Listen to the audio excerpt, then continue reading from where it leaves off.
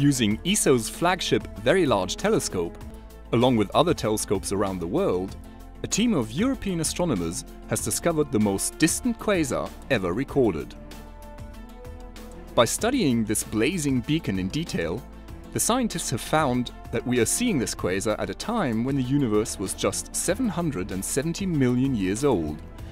This means that the light from the quasar took 12.9 billion years to reach us.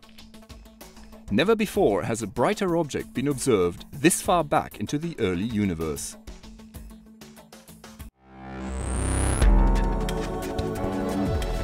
This is the ESOcast, cutting edge science and life behind the scenes of ESO, the European Southern Observatory, exploring the ultimate frontier with our host, Dr. J, aka Dr. Joe Liske.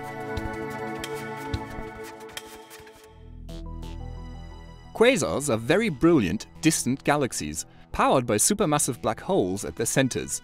These amazing objects have the mass of millions of suns crammed into spaces as small as our solar system. Quasar phenomenon transforms ordinary galaxies into what astronomers have fittingly dubbed angry monsters, the most luminous of all objects in the universe.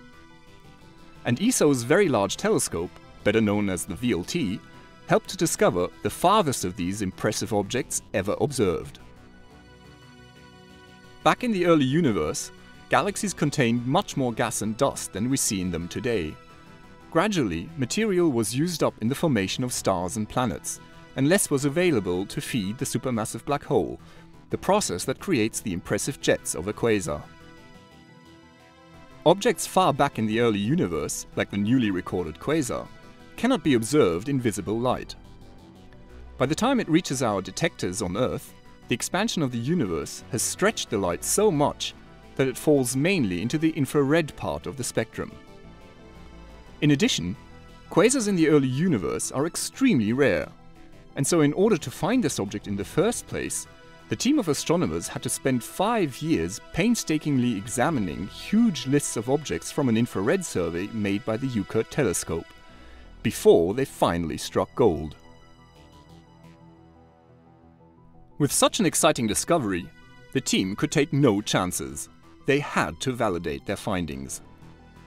Using the FORS 2 instrument on the VLT, along with instruments on the Gemini North telescope, a redshift of 7.1 was confirmed. This corresponds to such an extraordinary distance that it took the light from the quasar 12.9 billion years to reach us. Despite the vast distance, the quasar's extreme brightness made it possible to identify other characteristics using the same two telescopes. It was determined that the black hole powering the quasar has a mass of about 2 billion times that of our own Sun.